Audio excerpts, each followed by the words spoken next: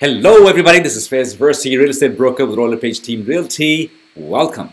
I hope all of you are keeping well. I know we're in a lockdown and COVID is being stubborn, but I do hope that all of you are keeping well and managing to stay away from this problem. I myself had my shot recently. I hope you will consider taking that as well. You may see a video of that as well on my channel. Please go to take a look at it.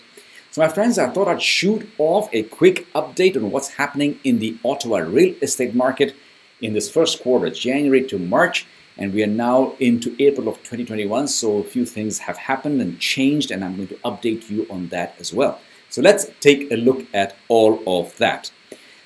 The first thing we'll look at here is in this graph, unit sales. As you can see where my cursor is pointing, the blue graphs, which is the blue bars, sorry, which is 2021 compared to 2020, which is the red bar compared to the green bar, which is 2019.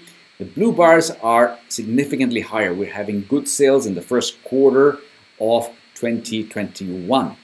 What does this mean for, I'm going to skip a few graphs here. What does this mean for average sale prices? These are amazing. These have like skyrocketed in the last few months compared to where we were just in 2020, where again, we were above the 2019 figures.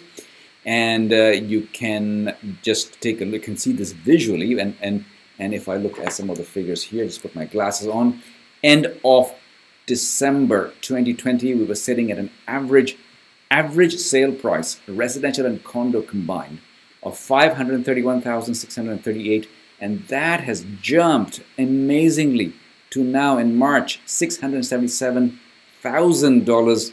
That is crazy. That's a 27% advance in the first quarter. In my predictions for 2021, which I did in December of 2020, I was predicting an 8 to 9% increase in prices for the full year of 2021. We have already blown past that in the first quarter. Question is, is this sustainable?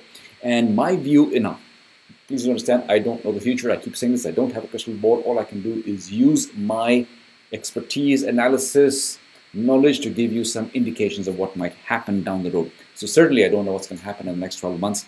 Multi-year, I think we're doing fine. Let me explain what I mean. So for this year, probably we have peaked. This, this has been an incredible rush. So we may have peaked, we may go higher. I can't really say. Next 12 months, I don't know. But if I look at the Ottawa market, if you go back and look at one of my videos, which I did call the 64-year history of the Ottawa market, you'll see that in Ottawa, we trend upwards. Now, I don't know about other markets. In Canada, I'm talking about Ottawa. We trend upwards most of the time, not every year, but most of the time. My feeling is given the huge supply-demand imbalance that we are seeing in the marketplace, meaning too much demand, not enough supply, as you see from a few of my other graphs over here, that this multi-year increase in prices should just continue for as far as I can tell. That's my analysis, okay? So moving, and I'll come back to what all this means for buyers and sellers. I'll just describe that and discuss that shortly. Let's see what else I can talk about. Okay, this is a very interesting graph as far as I can remember. Okay, so what this, I'm going to point you here to this yellow slab here, which seems to keep on growing, and this is referring to the over $1 million property mark. So properties worth over a million dollars, we've seen a 10% of the total property sold, 10% were over a million. This is huge. I believe last year this, this number could have been 1, 2, 3%, something like that. But we have just, that has increased to 10%, and that is showing us this huge upheaval in the whole market price in Ottawa simply because of this supply-demand imbalance that I've talked about just now. And that will as I expect, it will continue. There's nothing that we can see that will abate that in the next few years to come. So my friends, what else can I tell you here? Average selling time, important graph. The average selling time just screams down. Again, too much demand. So the house comes to the market and it's sold really fast. Me and my colleagues are doing a fantastic job at selling off properties. In fact, my friends, I am looking constantly for properties, properties to sell if you're in the market to sell, you know somebody, just think about it. Whom do you know that may want to move? So please give me a call, let me know about it, let the friend know about me so that I can help him and I can help the people who are looking for properties. That would be awesome. Let's see, what else can I tell you? What else can I tell you here? Because there's lots and lots of information here, but I don't want to make this update go along too long. So let's look at this one. This is talking about a seller's market, a balanced market, a buyer's market technical terms, seller's market is where we are now, where we are seeing too many buyers, very few sellers. Seller's market. Balanced market is when they are balanced. And a buyer's market is the other way. But we haven't seen a buyer's market, meaning where there are too many sellers, not enough buyers. We haven't seen that in at least two years, as you can see from this graph. I think the green lines here were pretty much in the balanced market area. This yellow band is balanced market, and the green lines were 2019. So that's about two years ago. Since then, we've been pretty much in a seller's market, and that seems to be continuing. So, my friends, let me stop there with the graphs and let me talk to you, let me speak with you about what does all this mean. So, my friends, if you're a buyer, this is a pretty tough situation. You need a very specific strategy in order to be able to buy a property in order to compete if you need to with other people. Oh, sorry, at the beginning I said we might have seen some changes. We are seeing some changes in the April market. I don't know if this is going to continue or this is just uh, some craziness because of the COVID lockdowns, but we are seeing pockets where you can go in and perhaps be the only bidder for a property.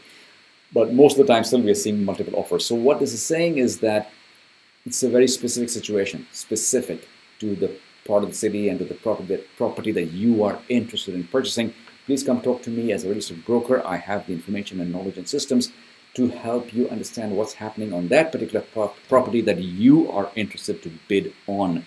And I'll monitor that for you and give you advices as to how we're going to tackle that. What are the strategies that are available to help you get the best possible price? And that can happen.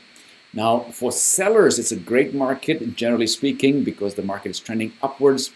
And so, if you're looking to sell, it's a great time. Again, and just like I have a system for buyers to help them to buy the best possible property at the best possible price, similarly, I have a system to help you, Mr. Seller, sell your property for the best possible price and in the fastest time frame, depending, of course, on what you would like to accomplish, all net of my fees and hopefully putting the best possible gain in your pocket.